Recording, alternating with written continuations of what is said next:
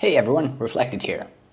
And today we're going to play through one of the missions of my upcoming Spitfire campaign, Beware, Beware.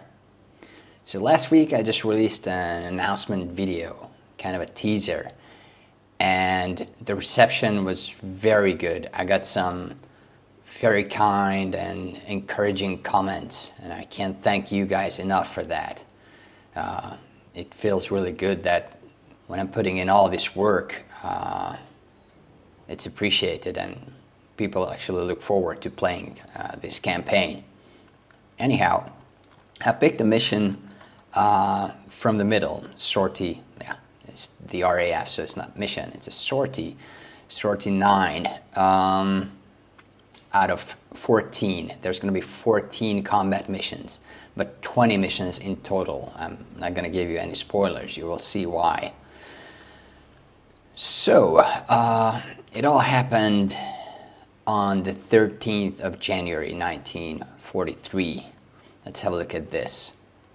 13th of January, 611 Squadron RAF, Biggin Hill, England. Our Spitty is parked right here. Wind is coming from there, so we're going to use this runway over here. It's going to be a Circus, Circus 249 to Abbeville. Engine start at 1247, leader takeoff at 1250, and setting course at 1257. Weather is pretty good, ceiling and visibility unlimited. Quite a bit of wind though. QNH, this for the altimeter. Uh, the radio buttons, A, it's zone of control, channel A. That means uh, the control agency that's going to uh, direct us when we're over England. B is not in use. By the way, historically, channel B was Zona, but I had to switch it to A because uh, channel B is used for the BBC. If you've played my other campaigns, you know that I like to entertain people uh, and the players en route to the target. So it's not going to be different. You can listen to the BBC Home Service on Channel B.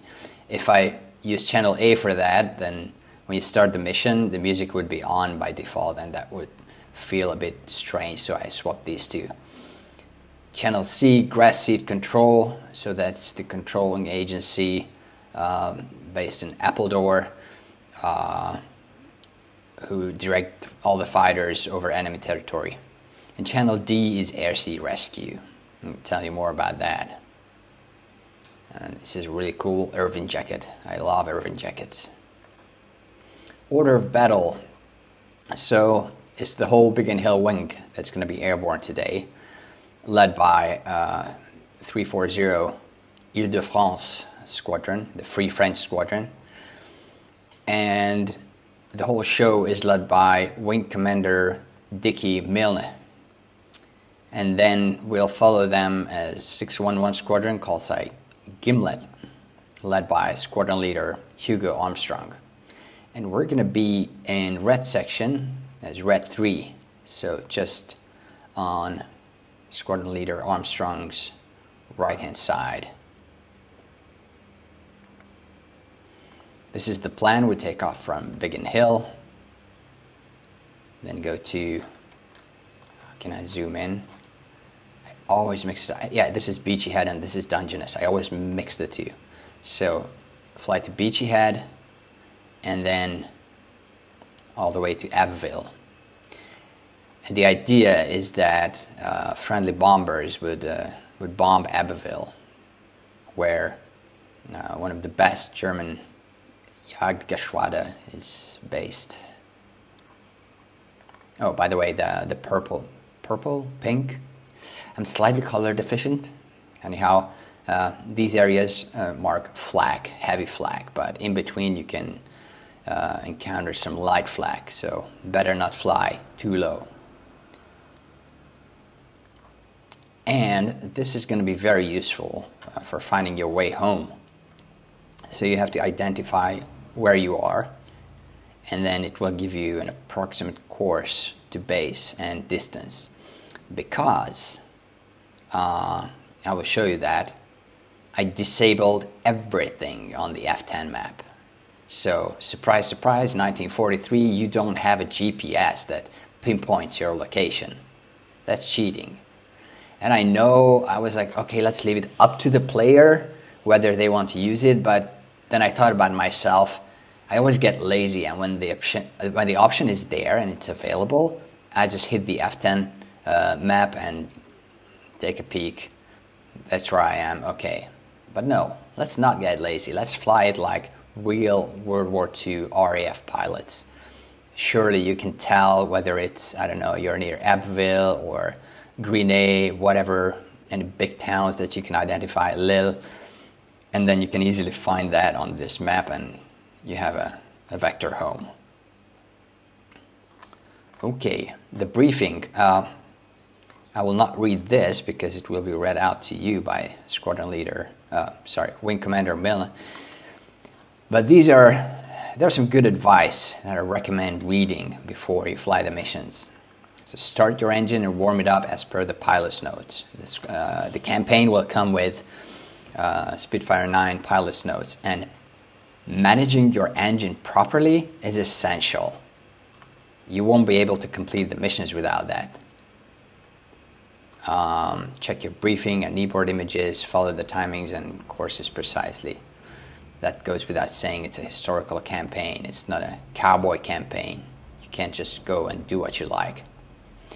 When ready, press spacebar to give your section leader the thumbs up. Taxi only after him. Yeah, I made this in order to to make the flight lead to wait for the player because some of us may take longer to start the engine and so on and so forth. So as soon as you give them the thumbs up, and they start taxiing. Rejoin with the formation over the field and wait for the brief time to set, to set course. This is how it goes. Complete, complete radio silence, so uh, the Spitfires take off, circle over the field, rejoin, and at the brief time, they just set course over uh, waypoint 1. AI climb behavior is hard coded. With a little practice, it's easy to keep up with them. Trim your aircraft properly, apply sufficient power, and don't let your speed drop below optimum climb speed. This is super important. And as soon as the campaign's released, I foresee tons of threads uh, uh, being opened about this by users who are not used to this, saying, "Oh, it's impossible to to climb, to keep up with the AI." I can't tell the AI how steep they should climb, how fast, what power settings. It's hard coded in the DCS AI, but actually, it's quite possible to keep up with them as long as you do everything properly. I will I will talk about this during the mission. So number three, you can initiate attacks while number, number four covers you in case your section is engaged. So you start the campaign as a number four and your main priority uh, will be to cover your lead, your number three, because you're a wingman. But now you're a number three and you have a wingman, so as soon as there's an engagement, you can take the initiative. But you can't just wander off and do whatever you like. Mm, you can give orders to your wingman using the built-in radio menu. Note that you will not hear a reply as he's set to silent. This is because if if he wasn't set to silent, every time uh, the DCS AI spots an enemy, he calls it out. And if uh, there are 30 bandits coming head on, it will call them out 30 times, and that's super annoying. So I just set them to silent. You can still give them orders, but they won't reply. It's not because it doesn't work, it's because they're set to silent. Don't try to be a hero. It's harder to complete the campaign without ever dying or getting captured than to score kills but having to refly some of the missions. This is really important. If if you want a cowboy campaign, if you want to shoot stuff and be a fighter ace, historical campaigns like this are the worst idea. Don't fly it. But if you want to reenact and, and really understand what it was like to uh, fly with the RAF as a fighter pilot, then this is for you. Fly it as if, as if you were there for real and focus on survival rather than glory. Yeah, this, this is the key for immersion. If you convince yourself that this is not just a game, you're there for real, and you convince yourself that you want to survive it, then these missions, this campaign will become really, really immersive. The mission is successfully completed if you take off, then finish over friendly territory. Land it anywhere, crash land it on a parachute, but alive. Also, this is this is how it was in real life. So just imagine if this was real life, what outcomes would enable you to to fight another day, to fly the next mission. That's how the campaign works. You just have to take off. You can't finish the mission on the ground. You take off, and then if you get over here and then you, I don't know, you mess up your engine and you crash land, mission success. If you make it to the target, get hit, make it back to the coast, land at, I don't know, Hawkinge, mission success. Or bail out just off the coast, mission success. Or there's another function, in case you can make it back, contact Air Sea Rescue on channel D. If you're close enough, you'll get a reply and the mission will count as successfully completed. So I can't tell you where that line is, but if you get close enough to England, but you still can't make it back to the coast, uh, and you switch to channel D, super important, you call Sea Rescue using the F10 radio menu. And if you get a reply, then you're good. Then the mission is successful. You can just quit right there or bail out or do whatever you want. As long as you don't die. As soon as you die, it's over. Okay, I hope that was clear enough. And now let's have a look at the mission.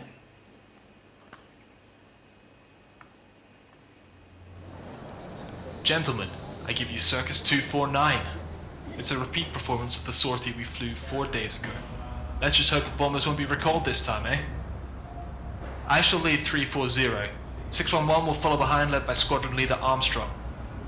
Today we'll play the role of the bouncers rather than close escort. We'll fly ahead at low level and try to catch the Jerrys while they're taking off and assembling. We'll try and keep them busy so the Bostons can reach their target unmolested. Any questions? Alright, dismissed. Okay, that was the briefing. A bit of a spoiler there. The mission before this was pretty much the same. Then we were close escort, but uh, the bombers were recalled. Well, you'll see in the campaign. So let's start it up. Um, I'm going to release a uh, Spitfire tutorial to make sure you know how to start start her up, take off, land, manage the engine, climb. So I'm just going to go through it quickly and set the brakes and check the controls. Oh, good. Free filter on, battery on, trim all the way tail heavy to keep uh, the tail on the ground. QNH was 1000. That's about right. Uh, fuel on. Let's pressurize the fuel lines. Okay. Prime the engine. Two, five, six, seven, eight, nine, ten. It's a cold day. Covers off. And throttle cracked. Contact.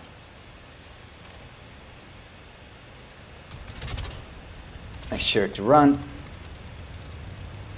And it's running. Okay engine's running so yeah. What I told you about. Are we ready? We press the space bar to give uh, the section leader the thumbs up. It's an FYF over there.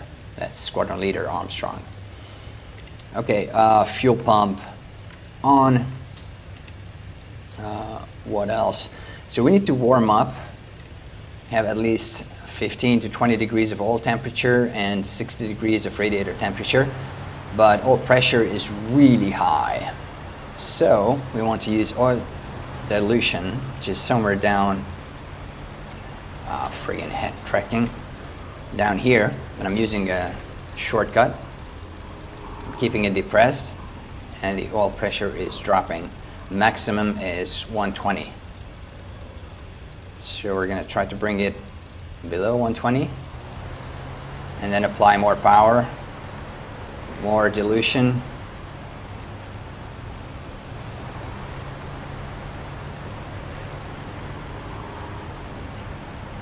okay there's a there's a flare 340 is taking off already the French guys. I want to achieve at least um, 1500 RPM sorry my head tracking is not the most stable one. I'm getting seasick too. Okay now the engine is warming up. We're gonna test if the slipper tank is working. So slipper tank on main tank off. And if the engine doesn't quit for a minute then we're good radio on. Uh, what else? Let's test the gun sight. Oh good. Set it up. The range 200 yards. Base 30 33 feet. So when the enemy aircraft's wingspan uh, just fits this gap then uh, he's at convergence range oh we gotta set the, uh, the compass to directional gyro because I didn't know either, but this by default is not accurate.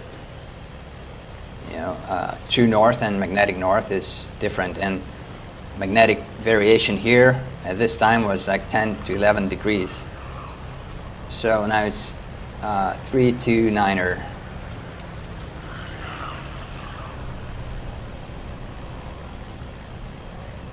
Okay. Good try and apply more power.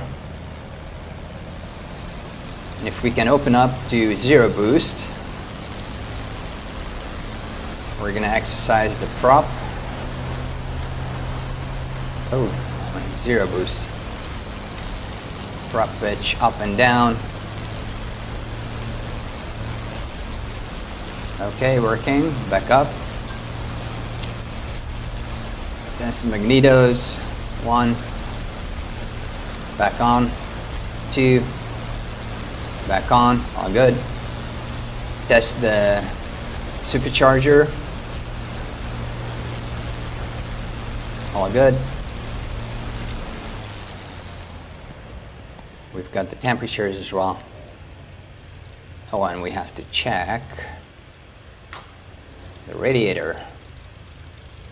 Keep the button depressed the radiator test button and the ground crew will confirm that it opens. Now I'm releasing the button and it closes. All good, it works. Okay, thumbs up. What time is it? Already 34. We've got three minutes to take off. It's not a lot.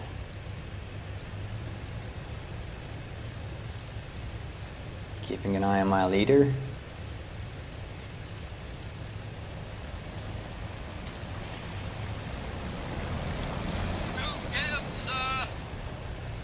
Thank you.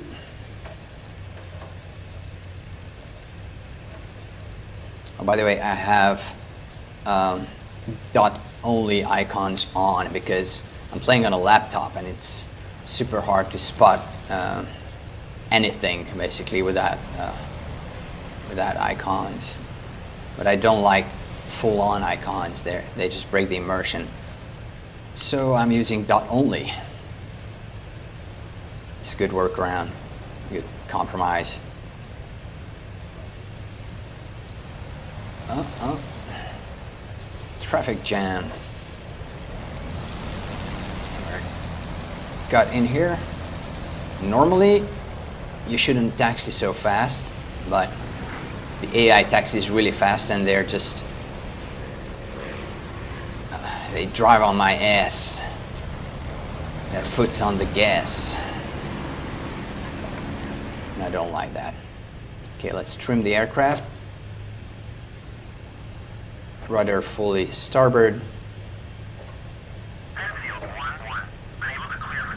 Let's rock and roll. Plus two boost. Keep it straight, stick back. Okay, Stick forward, open it to 9 boost. Stick forward, keep it straight. Keep the windshield on the horizon. And we're airborne. Gear up, open up to 12 boost to clean the spark plugs. Trim, trim, trim.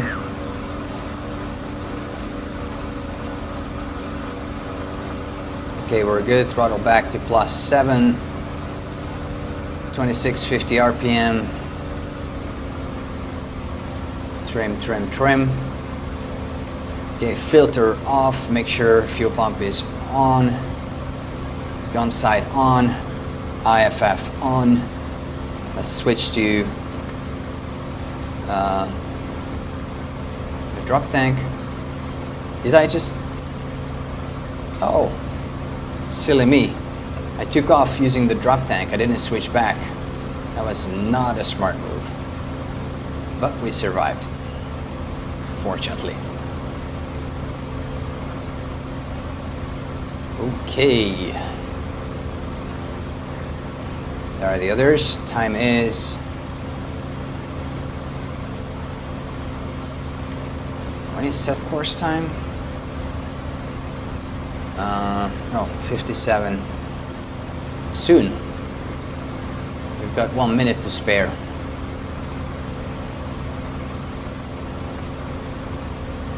That's why I said you have to follow the brief times, otherwise uh, they just fly away without you, like in real life.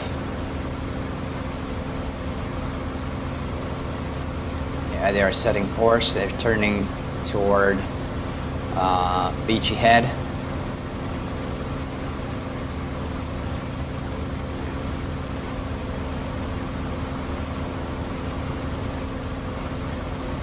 Aren't they? Some are still taking off, but they'll catch up with us en route. And now I have to figure out where I am. So we're not the lead squadron. That's the lead squadron. We're to the right and above them. That looks like it.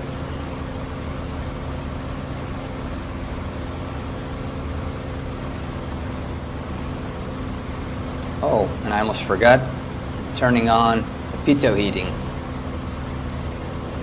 It's a cold day and you're gonna lose your airspeed indicator and some of your gauges if you fail to do that.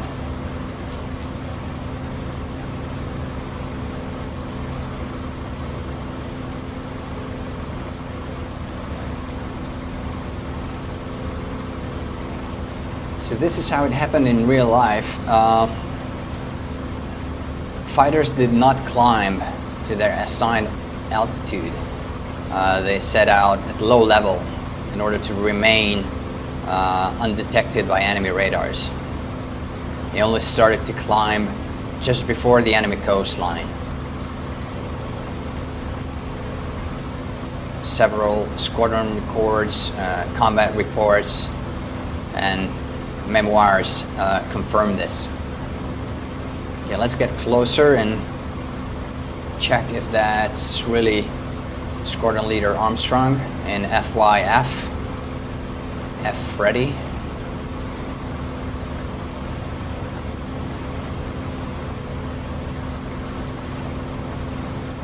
Throughout the campaign, you're really gonna get to know him. He was a great guy. His nickname was uh, Sinker. And it's not because uh, he could drink full pitchers of beer without even swallowing, just poured them down uh, his throat. It's because uh, early in his career, once he strafed an enemy boat and managed to sink it. Throttle down, yeah, FYF, that's sinker over there. So over there, that's 340 led by Wing Commander Milne.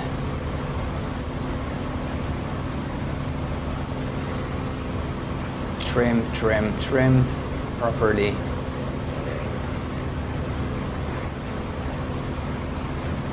And let's switch to channel B, Baker.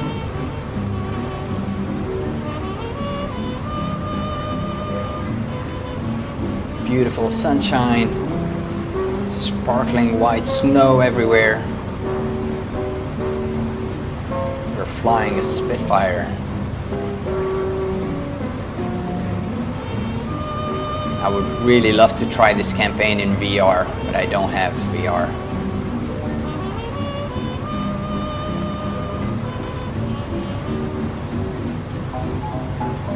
I find it really fun to uh, fly formation. So when you're not the lead, but you have to fly formation on an AI.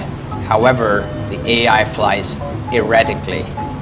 I can't do anything about that. Uh, sorry, let's turn this off. I can't do anything about that uh, from within the mission editor. So there's that, especially when they turn and especially when it's an AI that is not the lead, but an AI that's following another AI. They warp, they lag. It's worse than playing multiplayer uh, using a dial-in modem. But you can get used to it, and if you anticipate that, it's easy. The idea is um, to identify who's the lead AI and try to follow him and know that the rest of the AI, AI formation will just fall in place once the turn is done. Mm, ED promised that there would be a new AI flight model, general flight model or global flight, something like an abbreviation, I, I don't recall. But when that comes, I hope all these issues will be solved. Because again, in the mission editor, I can tell the AI to fly to waypoint 1, to climb to waypoint 2, switch to waypoint 3, or even 4. But how they perform it, I have no say in that.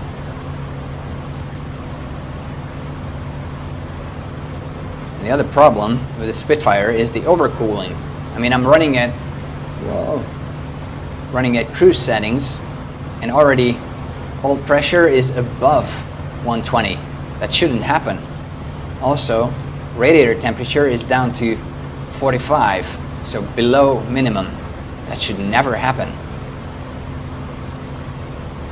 And from time to time, uh, I even get engine failures because of uh, because of this, because of overcooling.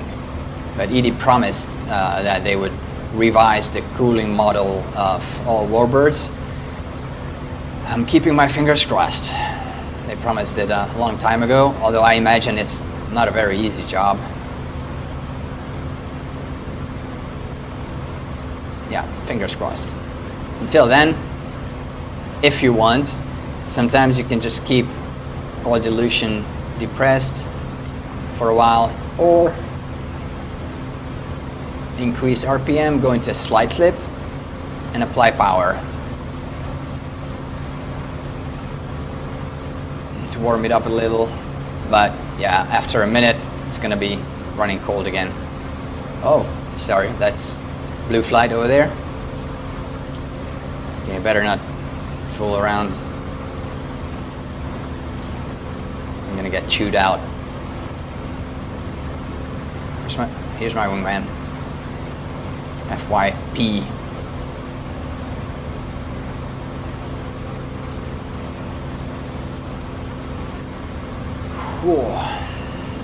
Um, I'm also gonna show you a nice little trick. Uh, I know a lot of you complain about these missions being too long. Uh, that's too bad. These missions were like this in real life. But if you don't have the time, just press the magic button, time acceleration. Twice, three times, and it's still quite easy to control. Uh, at any higher acceleration, it's getting super hard, but like this, it's not such a big deal. And yeah, you can save a lot of time. Or you can just fly it at normal speed and savor every moment. I find that the more you prepare for an engagement in flight simulators, the more effort you put in there. So start up the engine properly, warm it up, take off, fly out. You've already invested, I don't know, 30, 40 minutes of your life into it, and that helps you be afraid of being shut down, which makes it all the more uh, realistic and immersive. But maybe that's just me. Okay, we're approaching Beachy Head. Complete radio silence. Really important.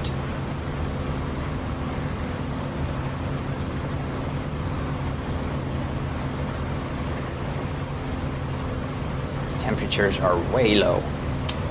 Not happy about that. Pressing the, the oil dilution. Voilà les bombardiers, tout en haut. Tu les vois, Jacques Bombers. Hello, please observe radio silence. Stop Oh, that there. French chit-chat.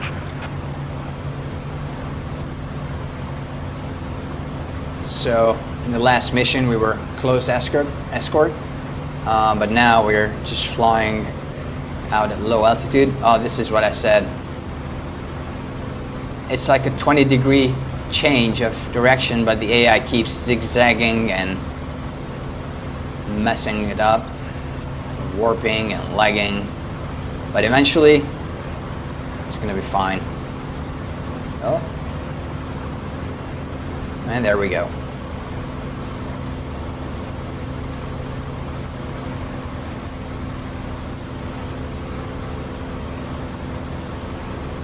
There's a boat over there in the distance.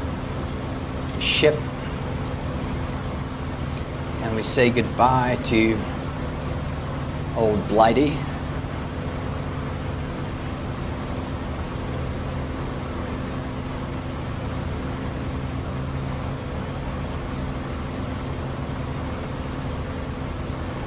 throttling back a bit.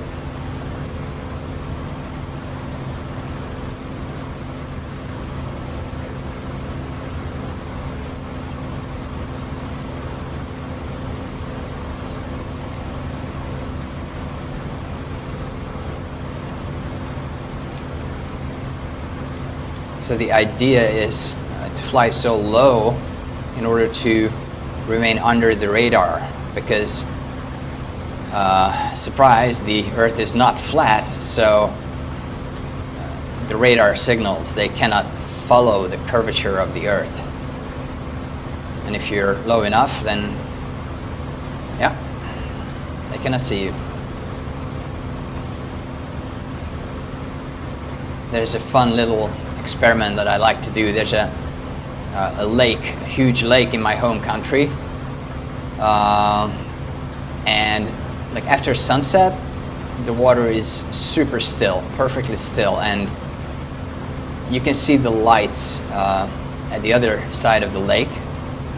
It's like I don't know, four or five miles uh, from from the other coast, and then you submerge into the water, and only your eyes are out, and those five miles are already enough uh, to mask the lights that are uh, by the side of the road that runs along the other coast.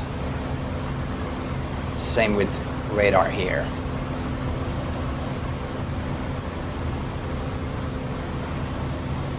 The fuel gauge in the Spitfire is not very informative, so we have to press that button and then we'll know how much fuel we have in the bottom tank, but the top tank, no idea.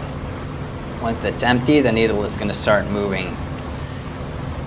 And how much fuel we have in our drop tank, slipper tank, zero idea. As soon as our engine cuts out, then we'll know it's empty.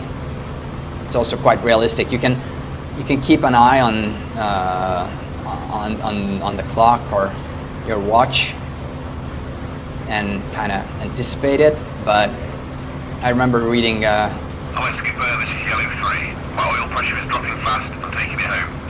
Yellow three. Roger. Take Yellow 4 back with you and try and get some altitude. Choice yellow flight. Roger. See you, chaps. Oh, there they are. Jesus, I'm gonna collide with my CO. Okay. Turning for home.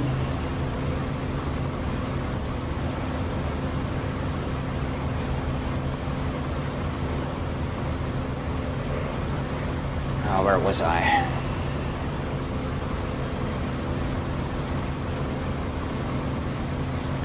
Some more oil dilution. Is it dilution or dilution? I never know.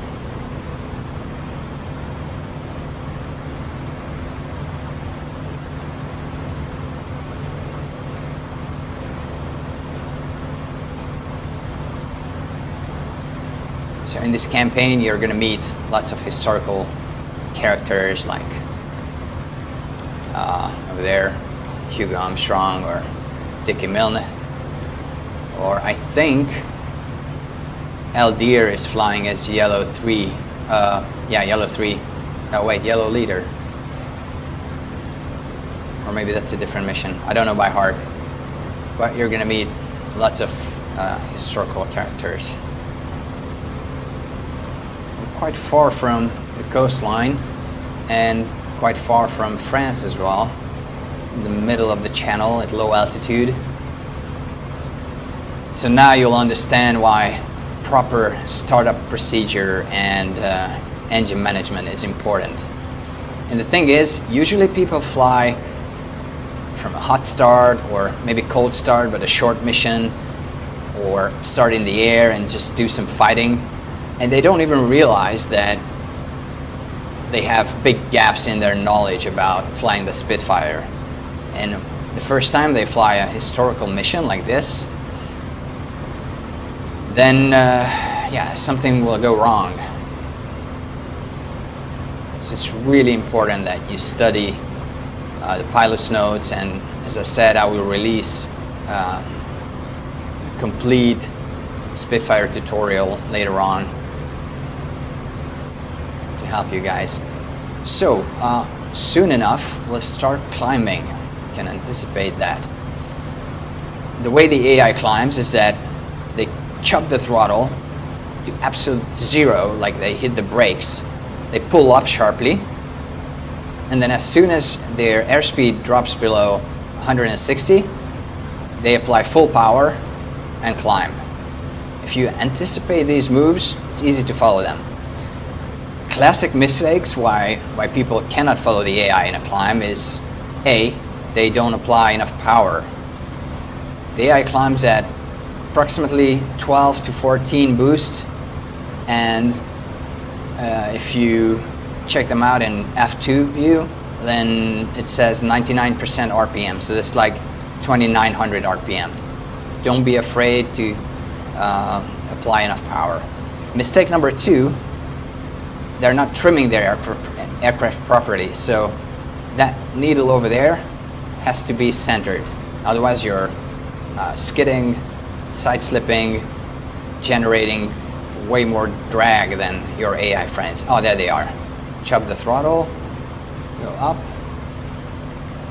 RPM to 99-ish percent. Open the throttle.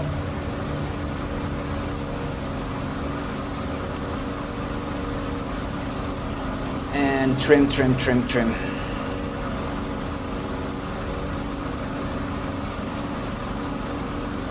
I was a bit late with everything, so I'm going to apply even more power. I'm almost at full power.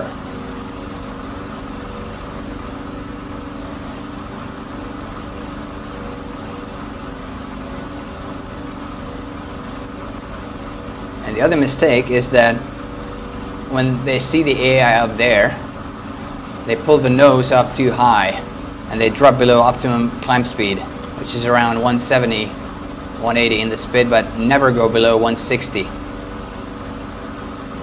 I'm just trying to convert this extra speed to altitude and throttle back down to plus 14, RPM back to let's say 99%, whatever that means. And see, I'm actually climbing faster than the AI now. Pulling the nose up to slow down a bit. Uh-oh. Yeah. I'm almost colliding with uh, Blue Flight. Sorry guys.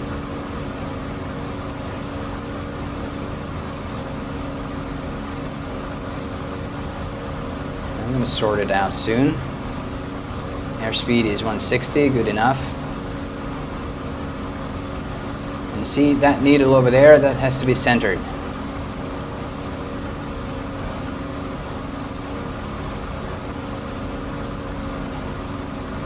And voila, I'm climbing with the AI.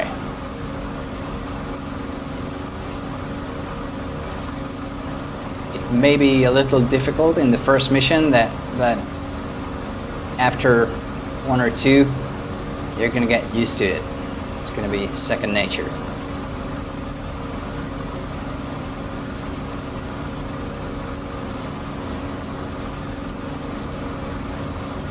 bit more trim to keep the needle centered. A bit more power because I'm lagging behind.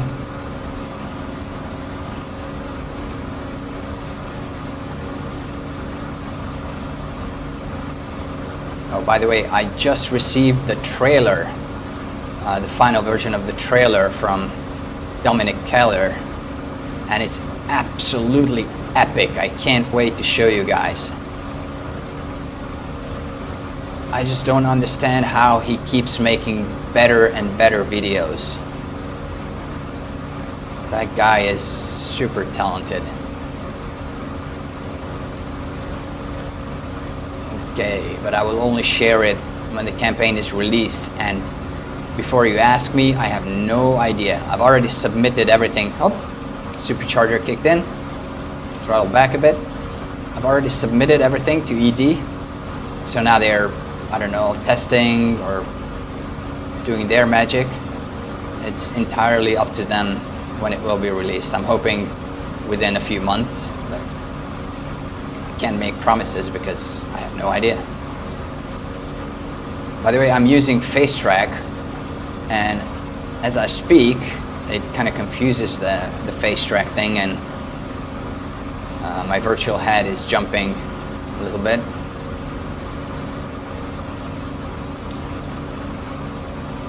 Okay, we're leveling off. Zona calling turbine. Zona calling turbine. Back. Contact grass seed on channel C. Over. Okay, we're entering enemy airspace. This is turbine answering. Roger. Channel C, Charlie. Over. Channel C. There. Hello, grass. Turbine leader calling. We're checking in as briefed. What's the form? Hello, turbine. We have nothing for you at the moment. Proceed with your mission.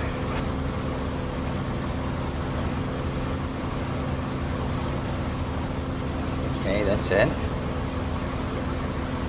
By the way, I spent a lot of time coming up with the radio effects because I found a, a video on YouTube. It, it was a it was a recording of uh, an RAF bomber mission um, of a Lancaster crew, and I tried to replicate that effect, same kind of distortion and same kind of you know effects that I heard, and I'm pretty happy with the result. And on top of that, you have background noise. So where when you hear a fellow pilot speak, okay, throttling back, RPM down, uh, a fellow pilot speak, you hear the engine noise in the background. When you hear Appledore, so grass seed control, you hear other people in the control room in the background. Little details like this uh, add to the immersion. I'm obsessed with uh, little details like that. So now I'm flying at plus two or zero boost and 2400 RPM. That's cruise settings, but I really have to watch the temperatures to make sure I don't overcool the engine. Finger, fingers crossed that's going to be fixed very soon. We shall see.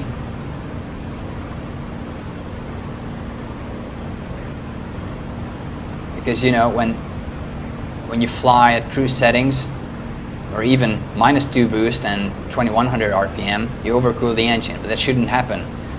Uh, it should remain warm enough uh, to work.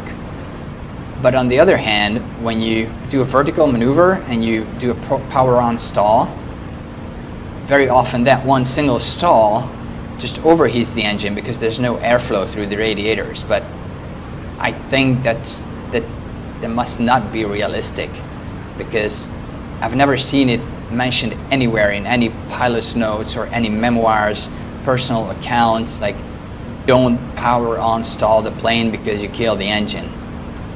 I think that's just nonsense. I may be wrong, but it doesn't appear realistic to me. So in one situation, it, the engine is not cooled enough, and in, in another situation, the engine is overcooled. For example, in the Mustang, same engine, almost. Uh, on the ground. Um, Hello, Grey Cap. This is Grassy. Steer 060. Over. Grey Cap. That's not for us. It's the Canadians. Roger. Steer 8060. Maybe Johnnie Johnson. So on the ground, they tested the engine at full power with the tail being held down for I don't know one minute or three like I don't recall the exact numbers but if you do that in DCS you kill the engine because you have no airflow but like something is missing from the modeling that makes it act weird. Oil dilution. My slipper tank is just about empty I think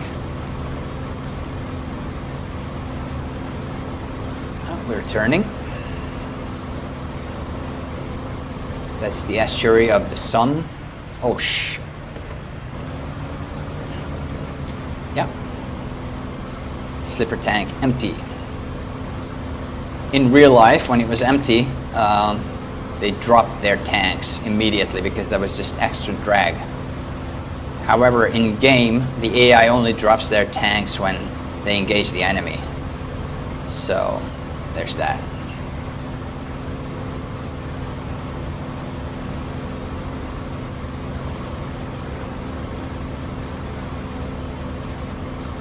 Applying more power to catch up. 340 is quite... Seven aircraft, combat formation, keep looking for the bastards. Roger. Spread out a little. There's blue flight. Still no flak. I expect some flak because uh, there's Abbeville Airfield and the city Abbeville. Uh, yeah, I expect a lot of flak there, especially at low level. So if we do get engaged, it's very important to avoid overflying the airfield at low altitudes. Once we're in, remember, go in quickly, punch hard, then get out. Uh, that was the squadron leader. And that was one of the rules of Sailor Malan.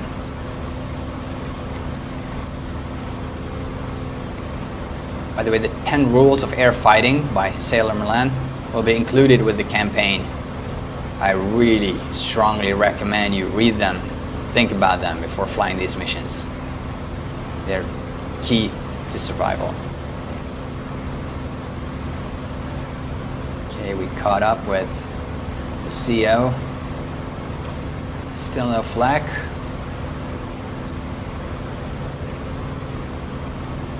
So in this campaign, also, like in my other campaigns, uh, you're going to have realistic amounts of flak and flak locations. While heavy flak is usually concentrated and some of the areas, but light flak can be really deadly if you fly below, say, five, six thousand feet.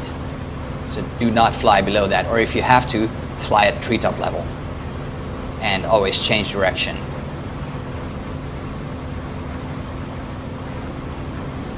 Oh, there's. Oh oh. This is blue leader. Snappers below. Snappers below. Okay. Propeller pitch ho, on your toes, maximum. chaps. Turbine and Gimlet, drop your BBs in attack. Dropping tanks. Going down. Safety catches off. Where the hell are they?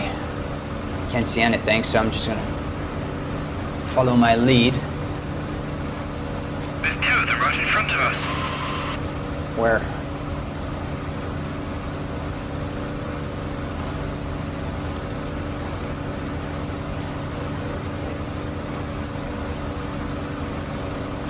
Down over there. There they are. Tally ho. Wingman. Cover me. Cover me.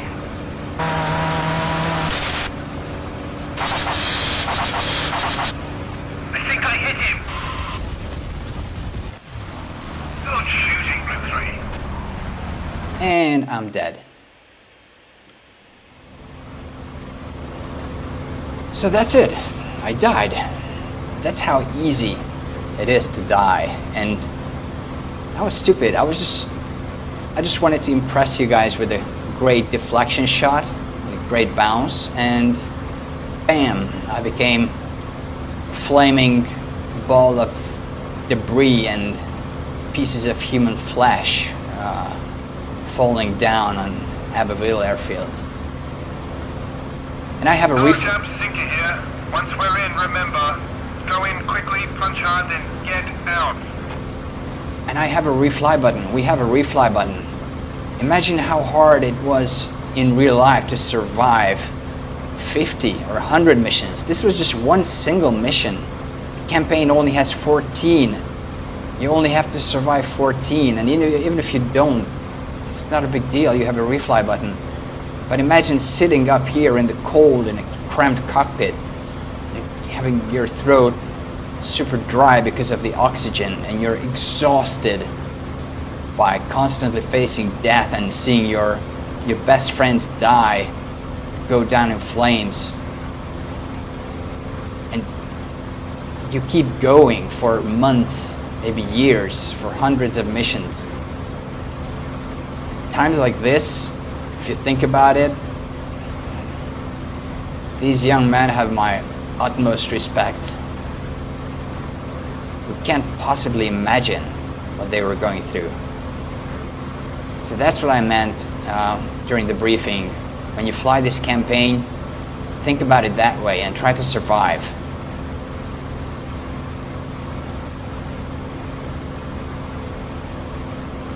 It's probably the hardest task ever. Leader, snappers below. Okay.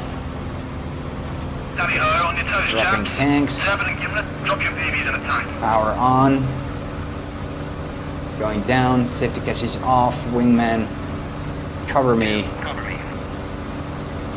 There they are.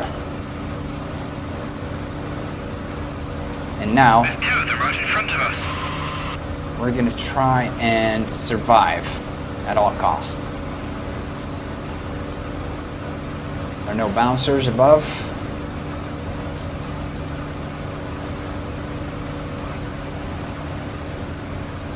Slight slip, side slip, bleed a bit of airspeed. And here we go.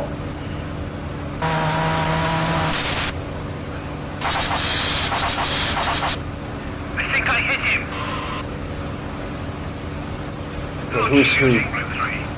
Holy shit.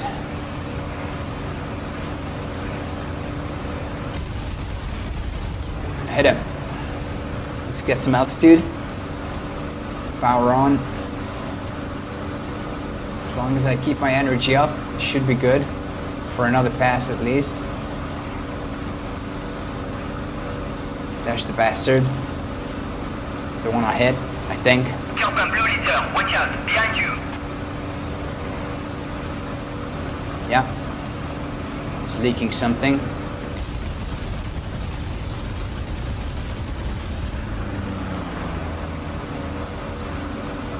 Up we go.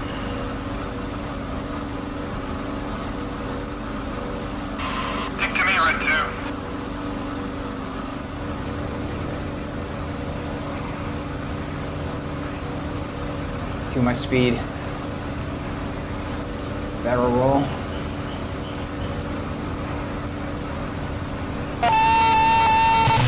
Come on, you fucker. Okay, now I'm out of energy.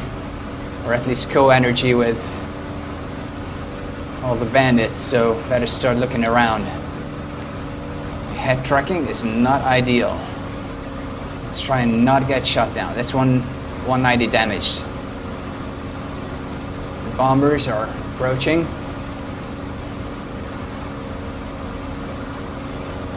Throttling back.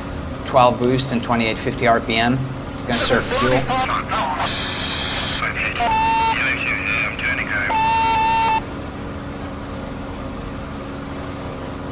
That's a 190.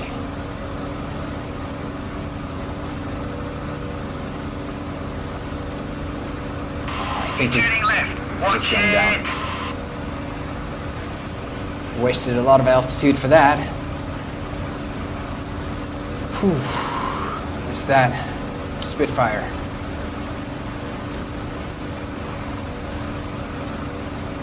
Throttling back. Conserve fuel. Everybody's above the airfield. I don't like that.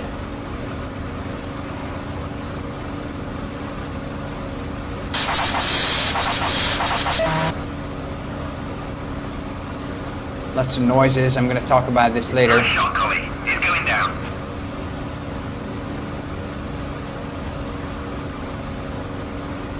Where's everyone? There's a single aircraft over there.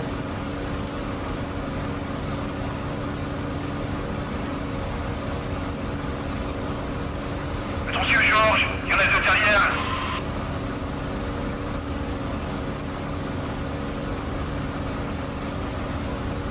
That's spit being fired at by AAA. That's another spit.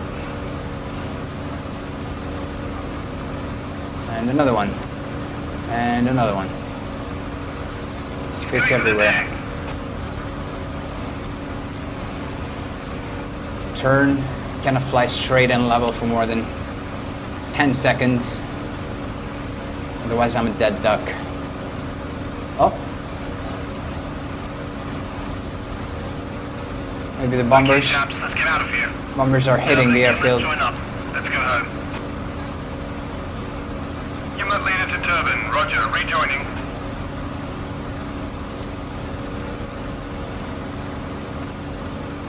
Okay, throttling back even more.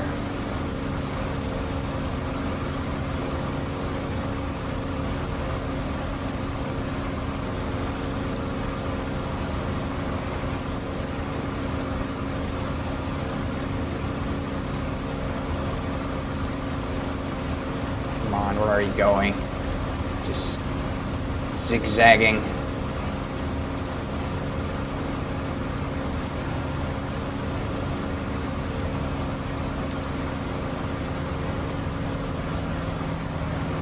Oh, that's my wingman.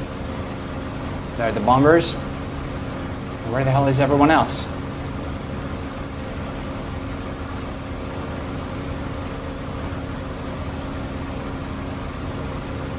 Okay, let's try and get some altitude. That's the most important thing to do. I want to be at around 10,000 feet and crossing the coastline or Abbeville.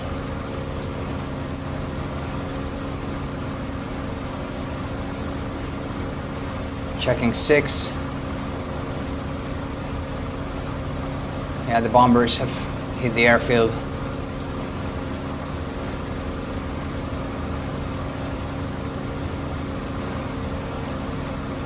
Whew. Fuel management is another interesting part of this campaign because Too bad. Because in my other campaigns, you know, you were flying Mustangs and uh, Thunderbolts with way more fuel than you actually needed. But Spitfires had notoriously short range, and these are the exact missions that they flew. And during testing the campaign, I sometimes landed back at Biggin Hill with three or five gallons of fuel left. Okay, throttling back to max continuous, plus seven boost, 2650. Still full. The bottom tank is still full. 2-3, there's a convoy down there. I'm going down to attack. It's a Spitfire. Somebody found a convoy. There's a canal over there. Okay, you know what? Let's go down low level. And look for some trouble. Maybe we can strafe some enemy trucks.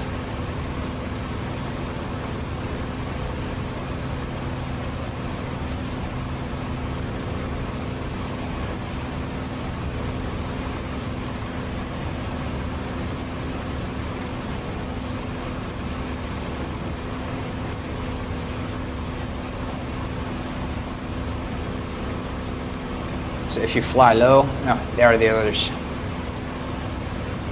Fly low, you have to fly really low.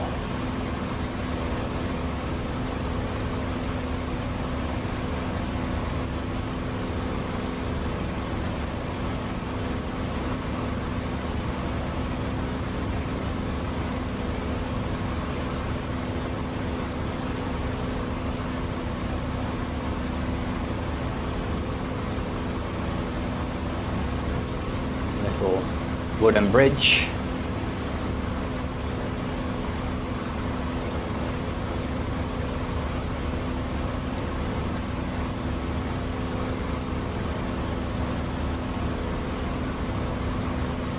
It's a, it's a town. It's probably not a very smart idea to overfly it, even at low level.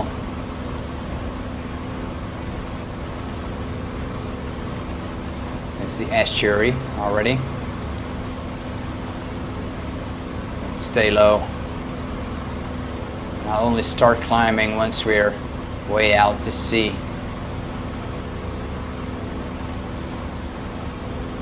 There's another town. Awesome.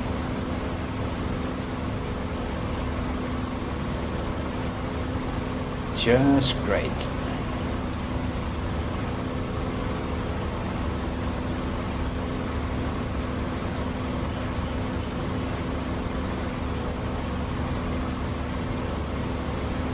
Yeah, hang in there, guys. It's January, only one and a half years, and you're gonna be liberated.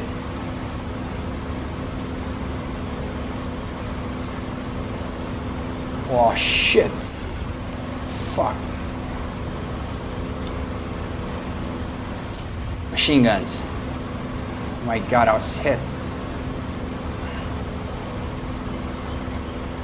Ah. This is what I mean. You have to be very careful. I was not. Fuck.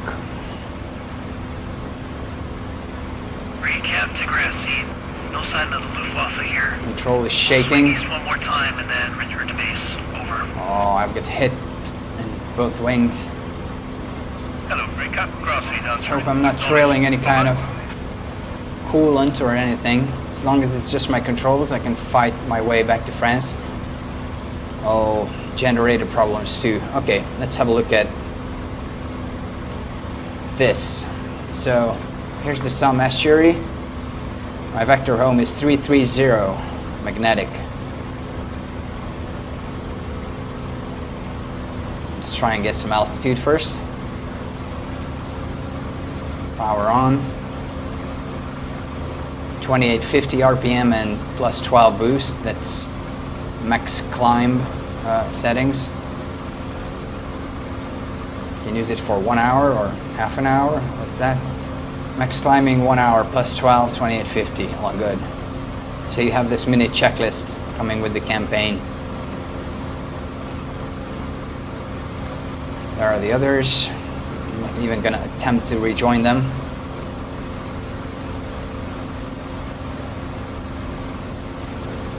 That was really stupid overflying a town at low altitude. Straight and level. If I can make it far enough and my engine quits, I can still contact Sea Rescue. If I make it to England, I'm good. I can land. I don't have to land at Biggin Hill. I can land at Hawkinge or anywhere. Are they gonna fix it? Hello, Carbon calling. One low on ammo and heading home. Over. This is Seed Control. Roger. Go on channel A, Able. Okay, switching back to Zona. Channel A for Able's fed. Turbine out. Oh, can't even listen to music. I think.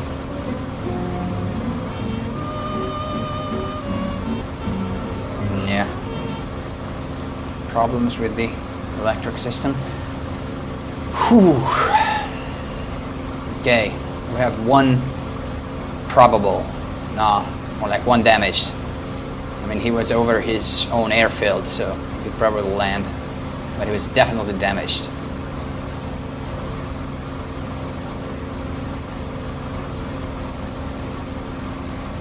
Gonna climb to 10,000 feet. We with fuel? Okay. So that needle should max out until you're at least halfway across the channel. If not, well, you're in trouble.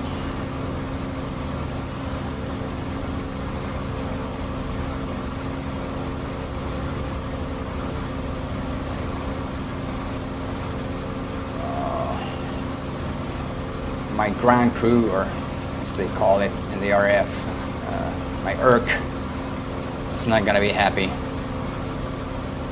having to fix all these damages. Oh, okay.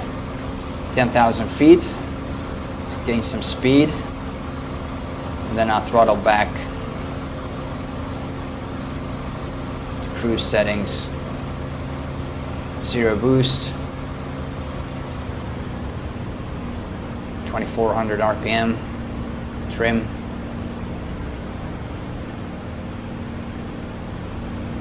Okay. That was just one mission. I died once and I almost died another time. And I still haven't made it back and the channel is freezing. It's just one mission. Makes you think. So, as I said, in this campaign you're going to get 14 combat missions and like five or six other ones. Uh, like cutscenes and other kind of missions that are also historically accurate. So they really happened in real life. I didn't come up with those. I'm not going to give you spoilers.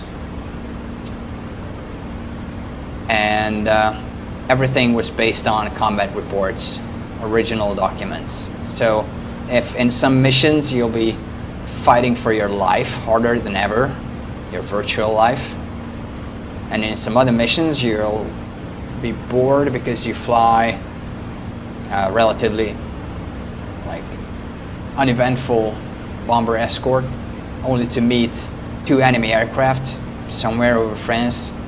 You didn't even you don't even get a shot to fire at them because your leader uh, shoots them out of the sky well that's it I didn't come up with any of these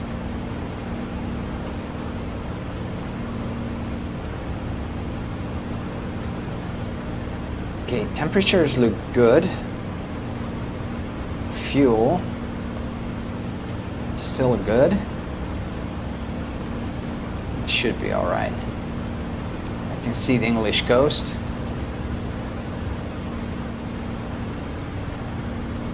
Three three zero. That takes me just west of Dungeness, and I'm off course already.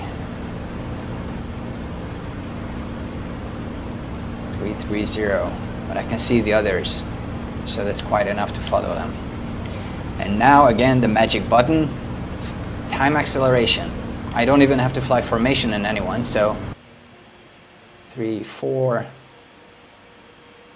and there you go you save yourself a lot of time Loading up. Yellow 2 to yellow leader. I lost all rudder control and she's quite right wing heavy. Roger, can you make it okay? you're not alone with that Yes, I'll be fine.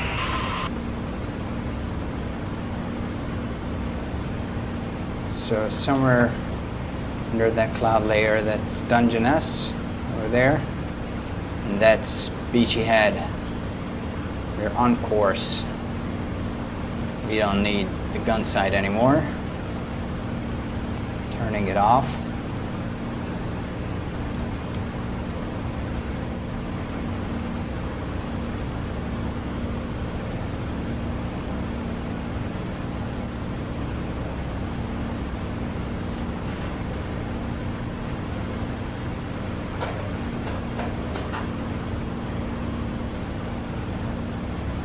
Let's check the fuel. Our bottom tank is still full, so we're gonna make it to Biggin Hill for sure.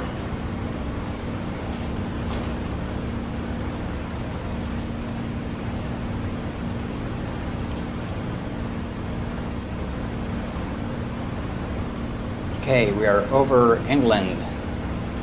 And if you don't know where you are, you just look outside the cockpit, look at the landmarks, like they did in real life, and zoom out. Look at this three-fingered lake. That's the one. So we're over here, still on course for Biggin Hill. It's called Dead Reckoning, or using your Mark 1 eyeballs for navigation. And it's really fun. And as long as I don't have the F10 icons disabled, I'm also lazy. I look at the F10 map and look at the icon and, and it's easy. But this was also part of the life of any World War II pilot. So it just has to be part of the campaign too. Oh, by the way, I wanted to talk about sound effects, but I got distracted somewhere. So during the dogfight, before the dogfight, radio transmissions were clear. During the dogfight, you could hear lots of uh, feedback and noises and buzzing and everything, stuck mic buttons, microphones picking up uh, machine guns and everything. It's because I read it in a book recently that uh, these radios were not very good. So in level flight they were okay, but as soon as they were under high G and you know air combat, a dogfight, and there was vibration from the machine guns and everything, they picked up all kinds of noises and sounds. So I paid special attention to this in this campaign, and also in my upcoming mosquito campaign. You will hear many uh, strange noises. Um, when it comes to a fight. And I think that further increases immersion. Makes you believe that uh, you're actually there.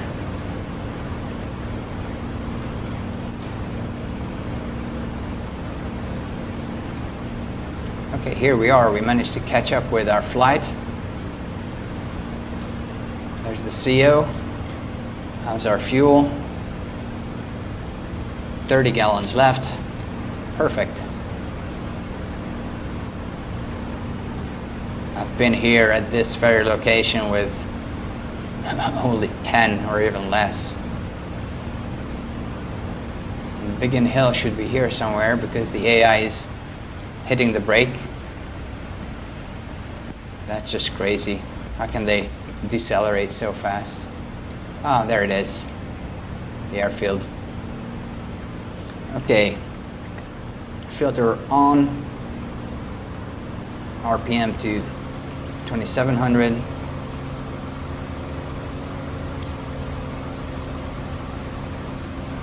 And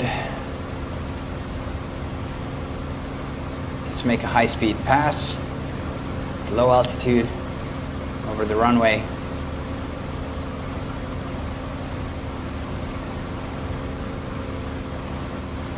then I'm gonna brake high left. And even if my engine quits, I'm gonna have enough energy come around for a landing.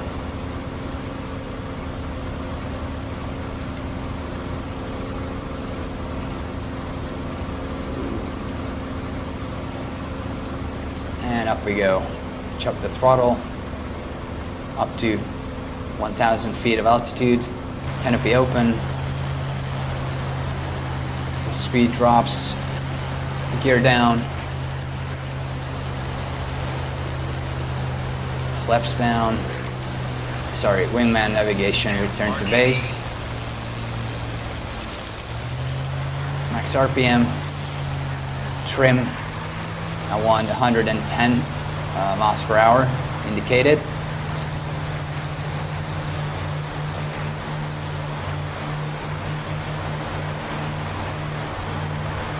are you doing? Damn AI, I just told you to go home.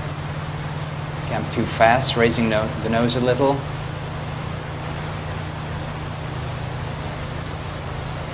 There's a lot of wind too, and turbulence. Fighting the damage controls. Okay, I'm looking at 100 miles per hour here. Cutting the throttle.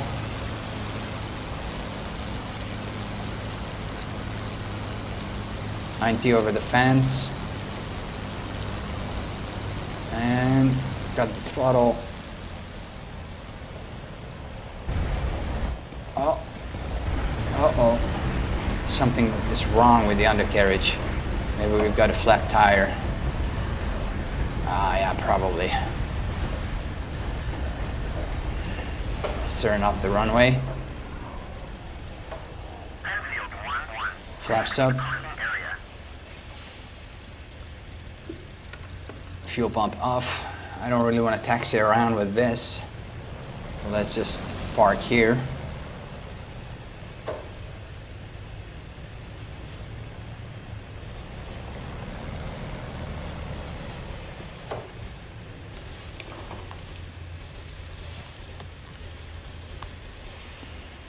Okay, set the brakes, turn off the radio, turn off the fuel pump, uh, that was already off.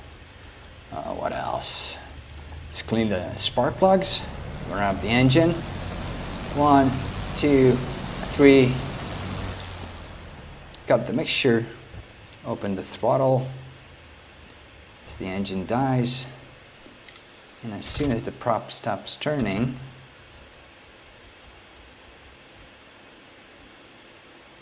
turn off the mags. Cock off, master switch off. Whew. We made it. Let's have a look at this. Oh my God. Got really peppered. Oh my God. Grand Crew is not gonna be happy. And I've got a flat uh, left tire as well. Whew. We've got to do better than that next time. Okay, let's have a look at the debrief.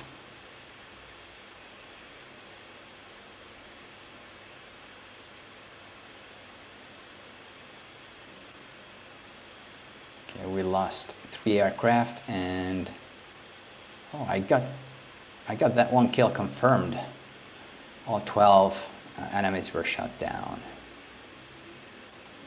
That's one thing that's really hard to reproduce in, in uh, DCS or in a computer game like this, because in real life, both sides scored, I don't know, one or two kills and then everybody went home. But in DCS, you, you know, they keep fighting uh, as long as one side is alive. Of course, in many of the missions, after a while, I'll tell the AI to stop fighting and to just go home. Uh, so that fights don't last until one side is completely wiped out because that's unrealistic. But we were in such a numerical advantage here and uh, we had the altitude and everything. So this was a really successful mission. But let's have a look at uh, the original real life squadron records and see what they say. So here it is, and I'll take from the operations record book from 611 Squadron.